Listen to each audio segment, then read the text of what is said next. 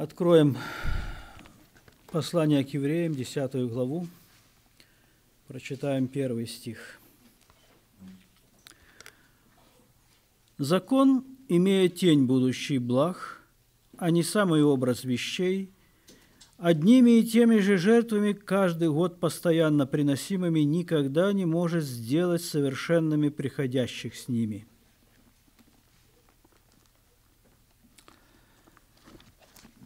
Эта десятая глава, она не открывает новую тему, но продолжает разговор, начатый в предыдущей главе. Мы знаем, что апостол не разделял свои послания на главы, и это разделение, оно не всегда удачно, нередко оно прерывает мысль.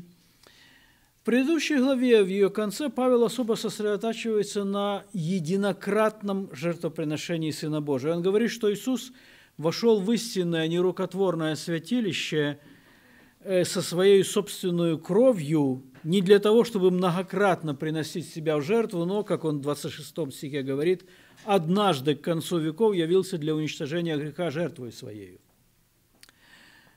Мы в прошлый раз, немного забегая вперед, э, говорили, чем обусловлена вот эта единократность жертвы Христовой. Апостол же разворачивает вот эту идею вот здесь, в 10 главе – но прежде последним стихом, 28 стихом 9 главы, он предупреждает читателя этого своего послания, что Спаситель во второй раз явится не для очищения греха, а для ожидающих его спасения.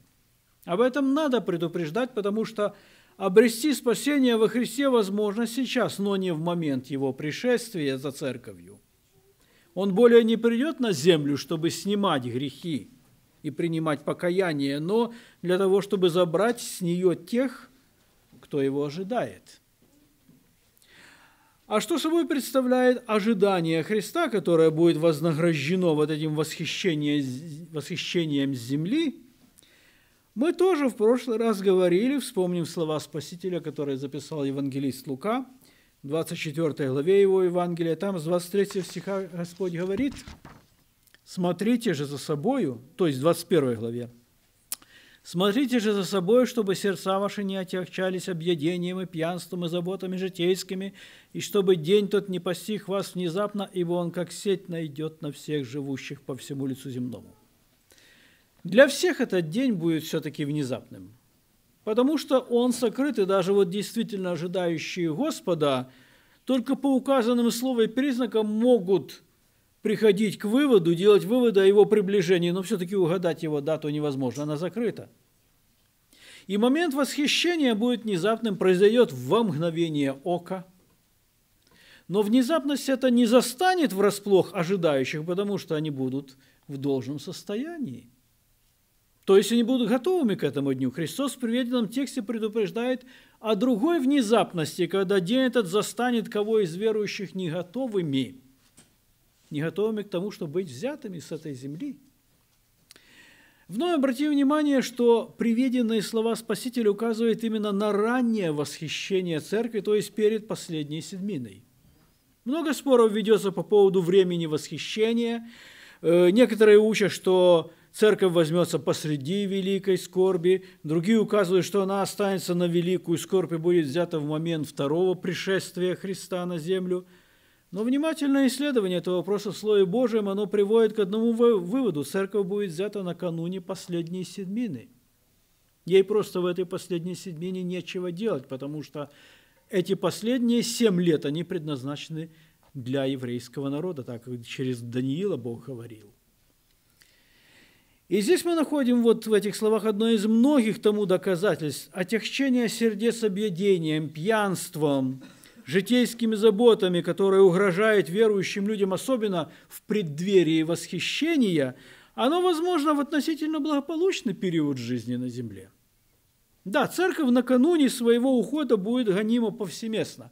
Разбирая 24 главу Евангелия от Матфея, мы говорили об этом, мы отмечали, что но при этом мы говорили также, отмечали, что будет у верующих и в это время выбор – в этот период последнего испытания. Будет возможность уклониться от него путем компромиссов, компромиссов с этим миром, сохраняя при этом вроде бы лицо христианина. Ну зачем, к примеру, обязательно посещать вот ту церковь, которая заняла твердую позицию относительно сохранения написанного в Библии и раздражает этим власти? Можно ведь пойти в другую, которая там у входа радужный флаг вывесила, и остаться верующим, молиться Богу, как прежде, и притеснений не будешь испытывать. А что там однополых сочитывают, то это их проблема. Каждый за себя будет отвечать. Знаете, когда плоть с ее страхами берет верх – то подходящая философия, которая бы оправдала вот этот компромисс и помогла бы делать вид, что ты все еще верующий, она всегда найдется. Плоть очень большая мастерица находить себе самооправдание.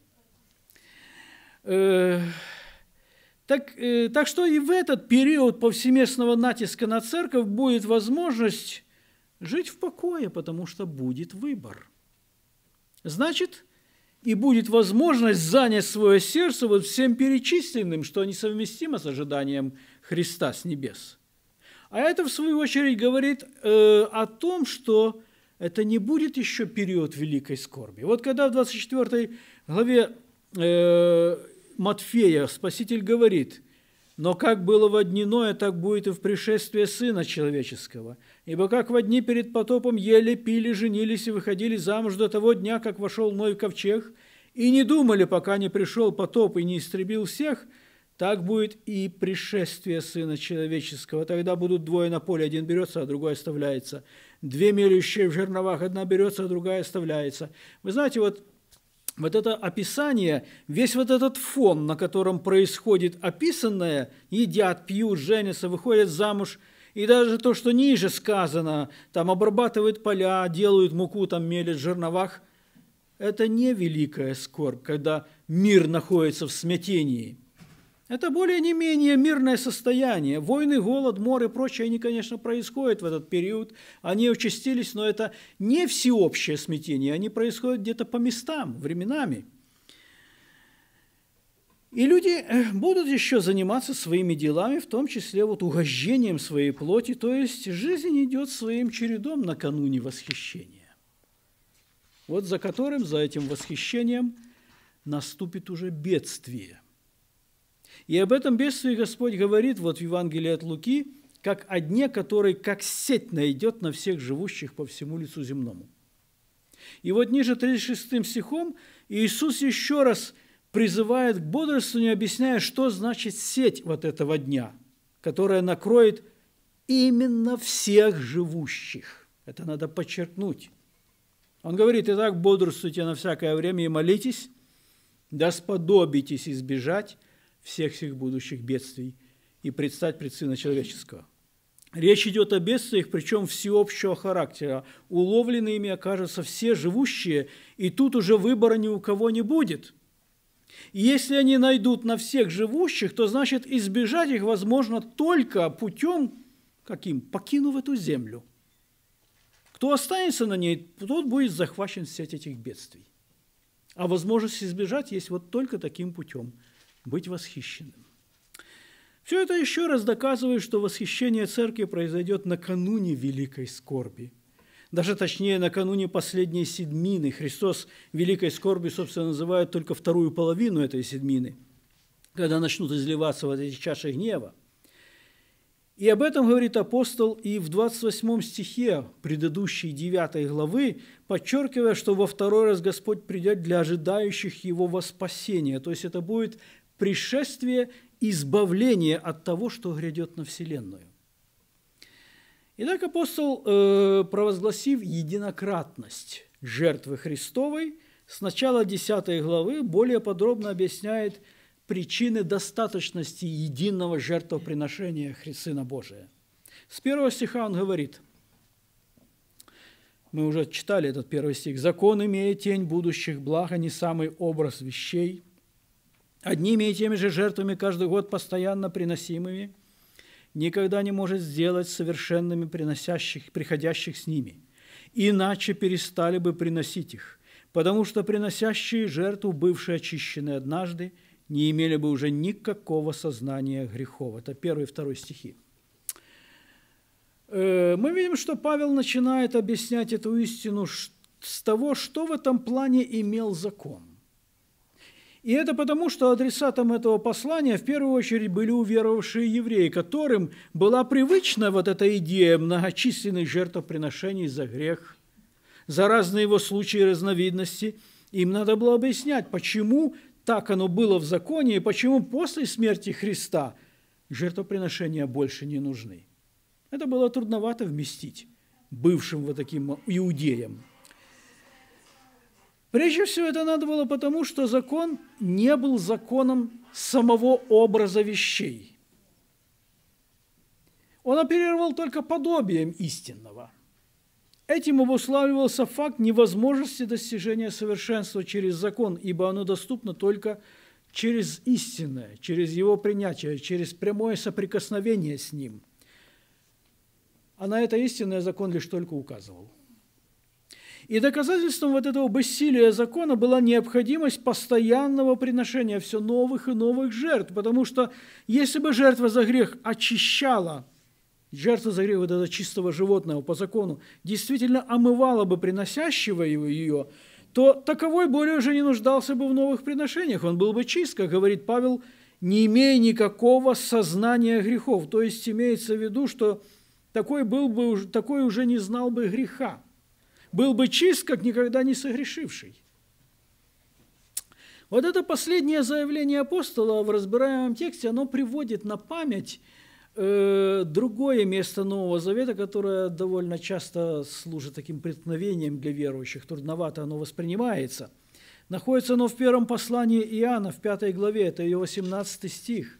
Там апостол пишет, «Мы знаем, что всякий рожденный от Бога не грешит» но рожденный от Бога хранит себя, и лукавый не прикасается к нему.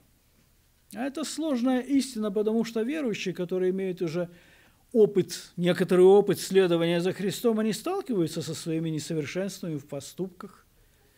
И вроде бы не наблюдают вот этой полной свободы от греха, все равно им приходится просить Господа прощения – и даже самая моли, сама молитва, заповеданная Христом своим ученикам, она не содержит в себе слова покаяния и прости нам долги наши. И что там говорить? Вот сам Иоанн в этом же послании, в первом послании, но только в первой главе он пишет, это с 8 стиха, «Если говорим, что не имеем греха, обманываем самих себя, истины нет нас. Если исповедуем грехи наши, то Он, будучи верен и праведен, простит нам грехи наши и очистит нас от всякой неправды». Если говорим, что мы не согрешили, то представляем его лживым, и слова его нет в нас. Это 8-10 стихи.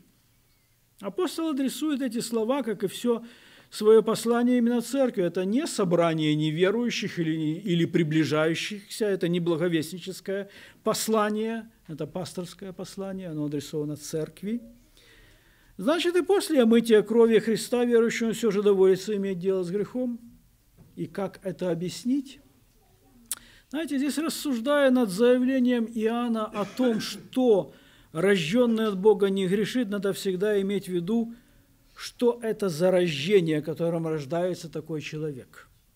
Спаситель говорит в беседе с Никодимом, с о рождении от воды и духа, отвечая на возражение этого своего собеседника о невозможности повторного рождения для уже родившегося в мир человека.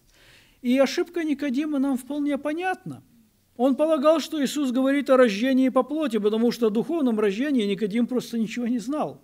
Он даже не представлял, что существует еще один вид рождения.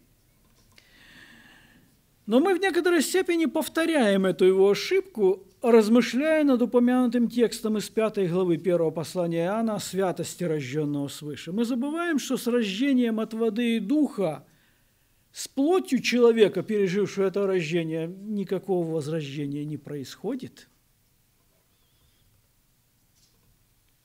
Рождение свыше не есть рождение по плоти. Плоть в этом случае просто теряет свои прежние командные позиции в естестве человека, но она остается той же плотью, которую, как это делал Павел, надо постоянно усмирять и порабощать.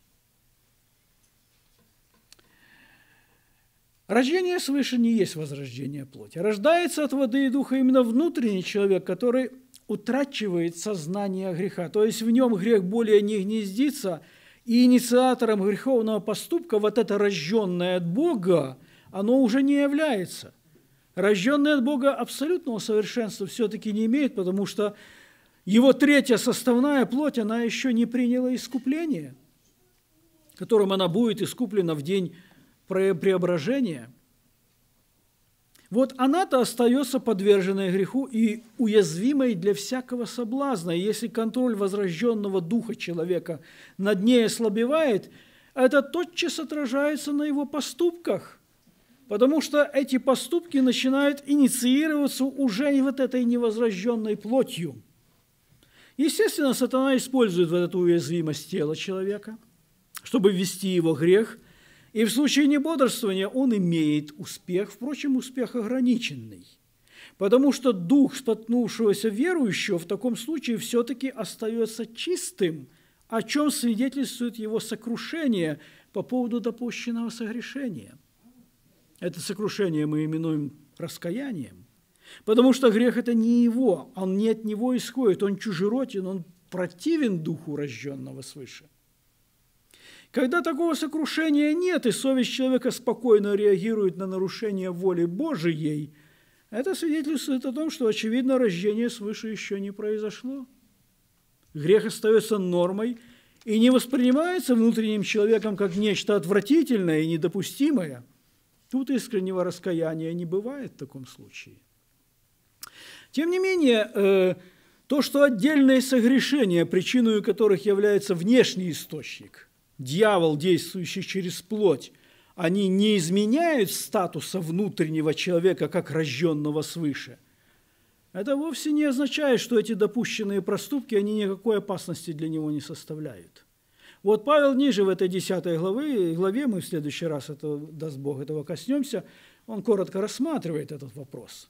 Говорит очень такие строгие слова, которые многих тревожат – и если человек возрожденный поступает по плоти, то это значит, что он не контролирует плоть, хотя его возрожденность вполне позволяет это делать. Она снабжает его способностью контролировать плоть. И если это происходит, плоть не контролируется, значит, вот эта способность, она остается невостребованной. Это уже, знаете, сюжет, сюжет притчи о десяти минах – за отсутствие праведности доведется давать отчет, потому что вот эта способность жить праведного, она была подарена каждому с его рождением от Бога. Если возрожденный снимает узду с плоти, он начинает жить по плоти. А Писание предупреждает, ибо если живете по плоти, то умрете. А если духом умерщвляете дела плотские, то живы будете. Это Римлянам 8 глава, 13 стих. Так что распространенный среди некоторых современных верующих аргумент «грешу не я, а грешит мое тело, поэтому я не виновен», он не работает, потому что твое тело – это тоже ты. И если оно делает, что ему вздумается, то ты виновен, потому что ты имеешь все средства обуздать его, если ты действительно рожден свыше. Знаете, само принятие вот такой философии «грешу не я, а мое тело» – оно вообще ставит под сильное сомнение факт рождения свыше. Потому что оно свидетельствует скорее о том, что упомянутое рождение не произошло, потому что этот образ мыслей, он не свойственен для человека, рожденного свыше. Ибо возрожденный от Бога Дух, он не только не грешит, он еще и не мирится с грехом, когда тот случается. И он никогда не будет оправдывать допущенное согрешение – если же человек, называющийся верующим, не рожден свыше, то мы знаем, какое последствие этого будет. Он Царство Небесного не увидит. Сам Спаситель в беседе с Никодимом говорит об этом. Но основное, о чем мы сейчас говорим, это то, что рожденный от Бога, вот этот внутренний человек, он рождается от Бога, и он инициатором греха действительно не бывает. Об этом говорит Иоанн. Рожденный свыше находится в состоянии внутреннего конфликта со своей невозрожденной частью, плотью. И такой полной устойчивой гармонии в настоящее время достигнуть невозможно, потому что тело, оно не соответствует по своей природе возрожденному духу верующего человека. У них разная природа. Отсюда и случающиеся согрешения по плоти, которых не избегали даже такие могучие мужи веры, вот как апостол Петр, о чем Павел свидетельствует в послании к Галатам. Причина э, этих согрешений в допущенном на какое-то время не бодрствовании, а ни в коем случае не в пороке внутреннего человека, который, будучи рожден от Бога, он пороков не имеет. Так что э, Павел во втором стихе 10 главы, он вовсе не преувеличивает результат э, очищения совершенной жертвой за грех. Сознание очищенного таким приношением действительно освобождается от греха – что не могло быть достигнуто законными жертвами, чем и обуславливалась их многочисленность. Вину то с тела они снимали, но грех оставался, и вновь и вновь толкал человека на греховные поступки, на совершение греха. И это вновь требовало жертвоприношения. Вот в предыдущей главе апостол 10, 9 стихом говорит, она, то есть э, первая скиния, которая называется «святое», есть образ настоящего времени, в которое приносятся жертв, дары и жертвы, не могущие сделать совести совершенными приносящего.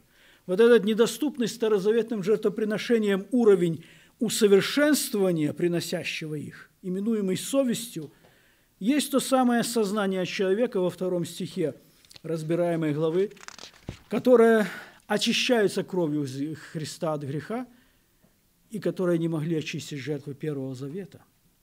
Апостол таким образом объясняет уверовавшим соплеменникам, что привычная для них особенность законного поклонения, вот эта множественность жертвоприношений, является по сути слабостью закона, его недостаточностью и неспособностью омыть грех человека.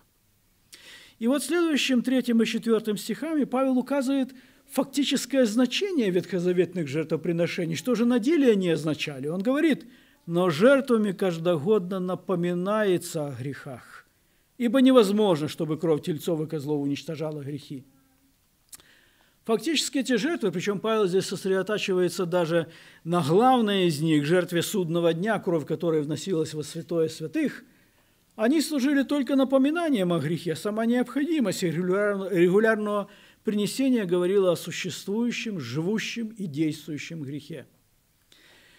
Конечно, и вот это напоминание или свидетельство о грехе, оно имело и положительный смысл для приносящего жертву за грех, потому что оно подтверждало, что он сознает свою вину, что он желает омытия, то есть это было свидетельство его раскаяния, что было очень важно, но очищение совести от этого не могло быть потому что кровь жертвенного животного была ценою ниже человеческого духа, чтобы его выкупить, чтобы за него быть достаточной платой. И следствием вот этой недостаточности было то, о чем апостол говорит уже далее, приводя слова из 39-го псалма. Это 5-7 стихи. «Посему Христос, входя в мир, говорит, жертвы и приношения ты не восхотел, но тело уготовал мне». Всесожжение и жертвы за грех не угодны тебе. Тогда я сказал, вот иду, как в начале книги написано о мне, исполнить волю Твою, Боже. Знаете, прежде всего обращает внимание э, на себя, обращает на себя внимание некоторое отличие этой цитаты от того, что мы читаем в этом псалме в масоретском тексте, в нашем Старом Завете – ну, вставленное в начале пятого стиха курсивом имя Христос, это дело переводчика, оно правильно объясняет, кто говорит эти слова, но без него, в принципе, можно было бы обойтись. Потому что сама вот эта фраза «входя в мир» говорит, она не вызвала бы никаких разногласий у толкующих по поводу того, кто именно говорит. Это слова Сына Божия, который, сделавшись человеком, вошел в этот мир – но вот дальше имеется разночтение вот в самом тексте. Масорецкий текст говорит, ты открыл мне уши, а в цитате Павла сказано, тело уготовал мне. А некоторые стараются помирить обе эти э, цитаты и говорят, что ну, само по себе наличие ушей должно подразумевать уже наличие тела. Но, тем не менее, разночтение здесь имеется. Далее Масорецкий текст говорит, в свитке книжном написано мне – а у Павла в начале книги написано о мне. Это, правда, все-таки несущественные разночтения. Они не влияют на смысл сказанного, но все же они есть. Э, отсутствие в процитированном апостолом последнем стихе слов, которые имеются вот в данном псалме, «И закон твой у меня в сердце», Ну, это, скорее всего, сознательное сокращение цитаты, сделанное самим апостолом, потому что далее, как мы увидим, апостол сосредотачивается в этих словах на одной мысли, для которой повторять вот эту концовку не обязательно, она там не играет существенной роли. Э, мы часто, читая вообще Новый Завет, находим некоторые отличия процитированных там мест из Ветхого Завета от того, как они звучат в масоретском тексте. Обычно это объясняют тем, что апостолы и евангелисты пользовались более доступным в те дни для большинства людей греческим переводом Священного Писания Септуагинтой. Но, знаете, это объяснение не объясняет главного, как мы должны относиться к этим разночтениям, хотя они, хотя они, как правило, не очень существенны.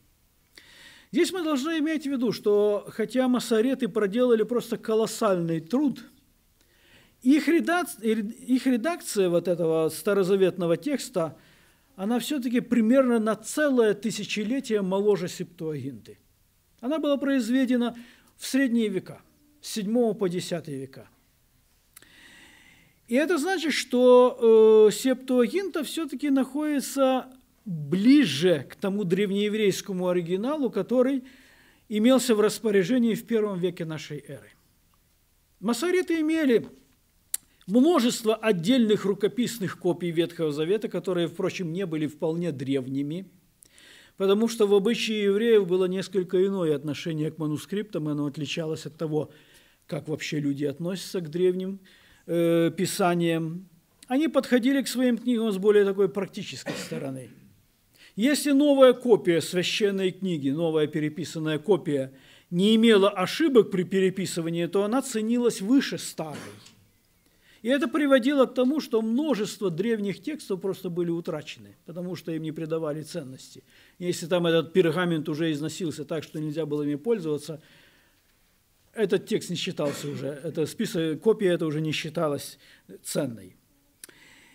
Э, и вот, э, чтобы впредь избежать вот этих разночтений, при всей тщательности копирования разночтения все-таки были. Все-таки, и чтобы избежать этих разночтений, Масареты, завершив свою редакцию священного писания, произвели подсчет всех буквенных знаков Писания, отметив при этом каждой, э, при этом э, э, отметив, сколько их должно быть в каждой книге или разделе Старого Завета.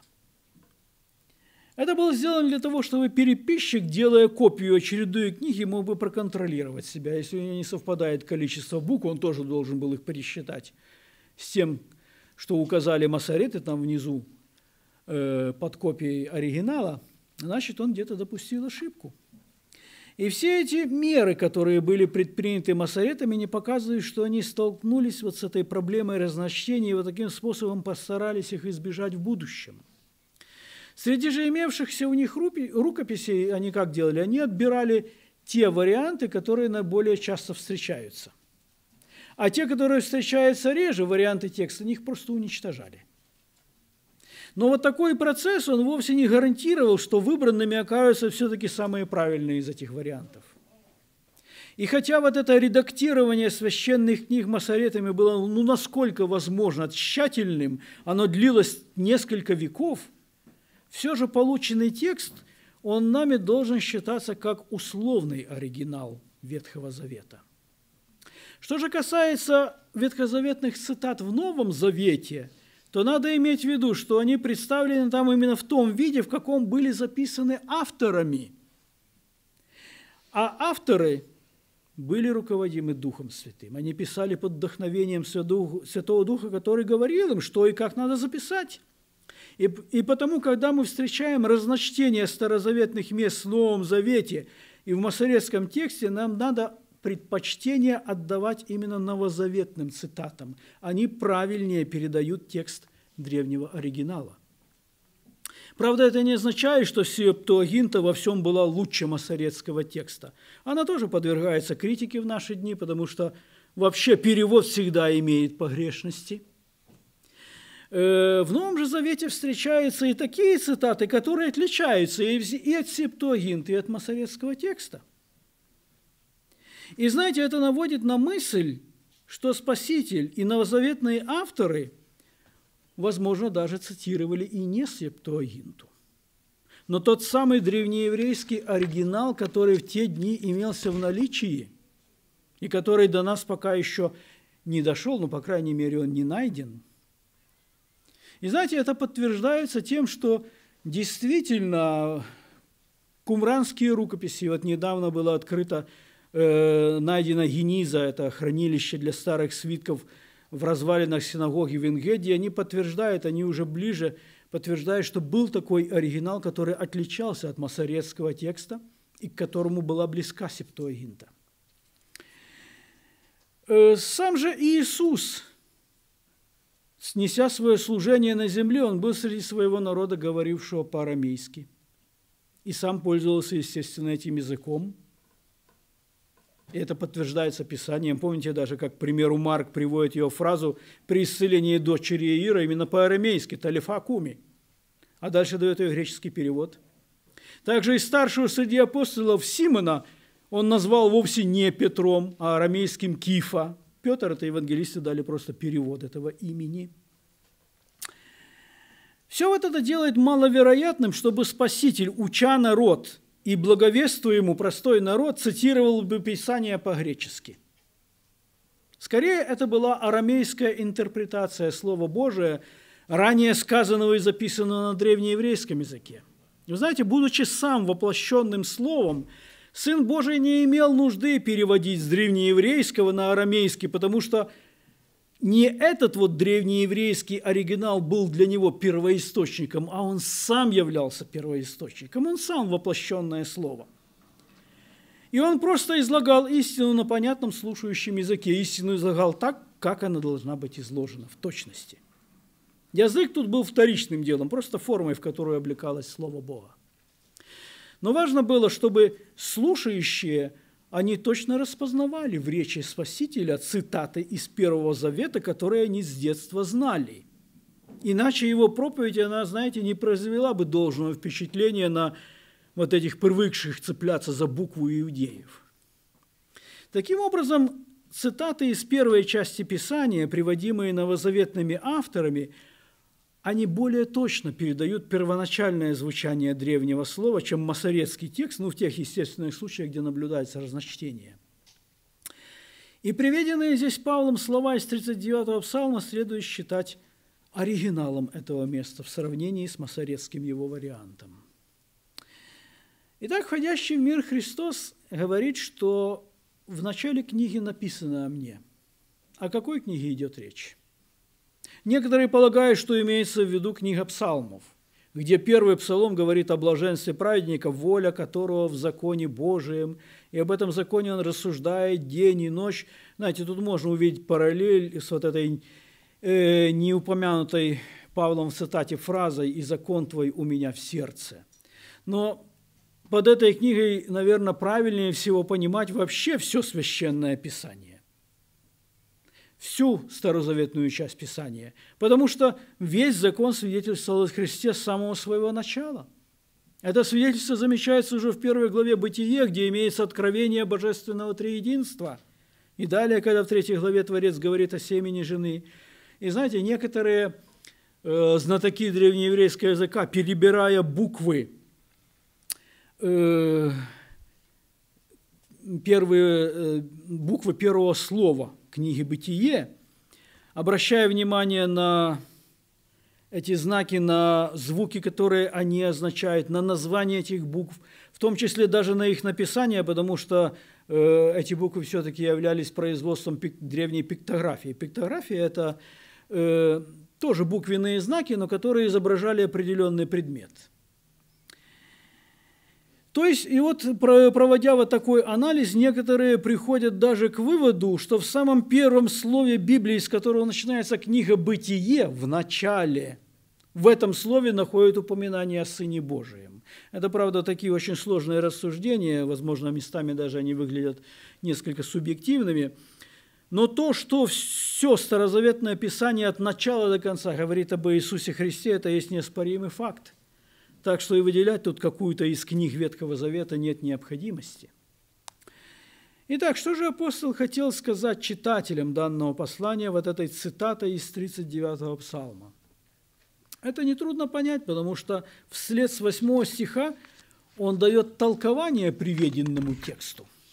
То есть сосредотачивается на одной из его мыслей, на которую он хотел особо обратить внимание читающих. Он говорит, сказав прежде, что ни жертвы, ни приношения, ни всесожжения, ни жертвы за грех, которые приносятся по закону, ты не восхотел и не благоизволил, потом прибавил, вот иду исполнить волю Твою Божию, отменяет первое, чтобы постановить второе, восьмой и девятый стихи.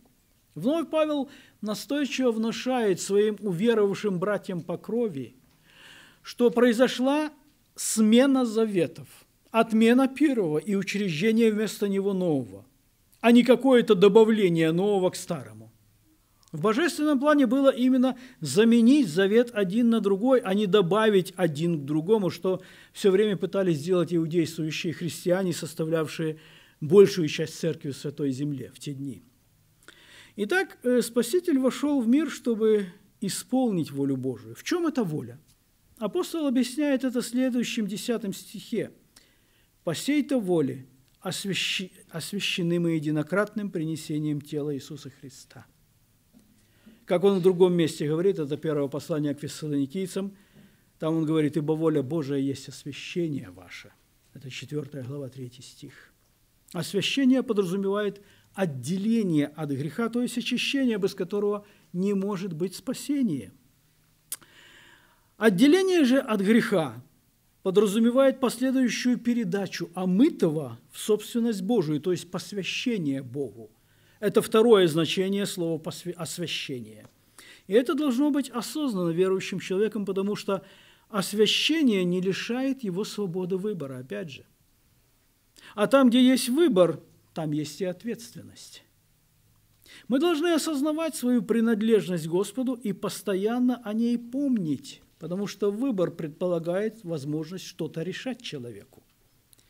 Мы должны постоянно помнить об этой ос освященности, чтобы жить и поступать как посвященные Богу, находящиеся в Его распоряжении для совершения Его воли и прославления Его имени – Какие бы то ни было увлечения в этом мире, они противоречат нашей посвященности, потому что они отбирают наше сердце у Господа. Они нарушают нашу связь с Ним. Когда человек сохраняет посвященность Богу, его желания, его мысли, они сосредоточены на том, что Господне. Он постоянно пребывает в поиске лица Божия, ревностно стараясь быть угодным своему Создателю и Спасителю. Да, это требует вдохновения. Без вдохновения это не получится. Но и без приложения усилий самого человека дело тут не обойдется. Потому что хождение перед Богом – это есть сотрудничество человека с Духом Божиим, который в нем пребывает. И без этого сотрудничества сам Дух Святой просто действовать не будет, не захочет этого делать. И пусть Господь нас благословит всегда вот это помнить и соответствующим образом действовать, чтобы освящение наше кровью Сына Божьего – постоянно выражалась в нашей посвященности Ему, потому что мы, Он дорогой ценой приобрел нас. Аминь. Аминь. Давайте помолимся.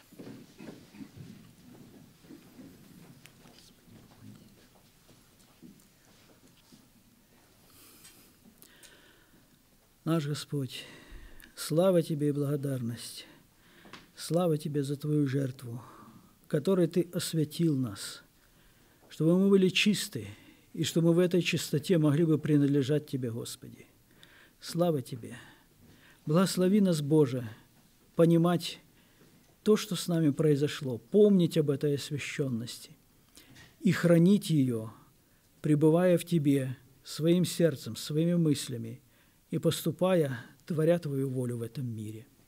Благослови нас, Господи, в этом и сохрани от всякого зла, от всякого соблазна, и будь прославлен за все наш Бог. Аминь. Садитесь, пожалуйста. У нас есть время, если есть вопросы, можно задать их сейчас.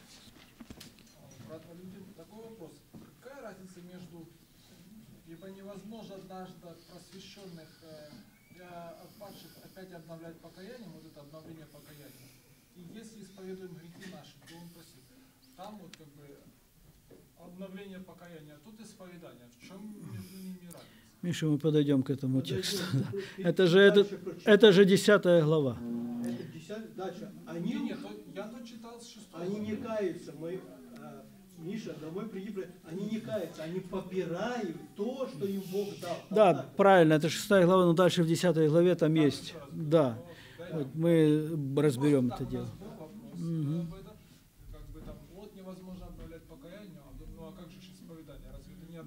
был Так, Можно? да, Да, пожалуйста. Смотрите, э, я хотел бы, чтобы э, вы коснулись сегодня новой природы, новой способности, духа. И Писание говорит, мы не должники плоти, чтобы жить плоти. Бо если жив плоти, умрем. А если духом умерщвляем дела плотские, то жив будете. Как этот процесс происходит? Духом умерщвлять дела плотские. Как это в реальности происходит? Текст прекрасно звучит. Как это практически? Это контроль духа над плоть телом. Это контроль духа. Это когда человек отдает духу командные позиции. И когда оказывается перед выбором, он не выбирает плоть, а выбирает то, что ему говорит дух. А дух Божий говорит духу нашему. То есть он слушает Бога, а не свою плоть. И отдает предпочтение. А у него ввиду возрождения есть вот эта способность отдать предпочтение духу. До возрождения этой способности не было. Вообще выбора не было до Да, возвращения. да. Он не мог ничего выбирать. Так, все, больше нет вопросов? Хорошо, благодарю вас за внимание.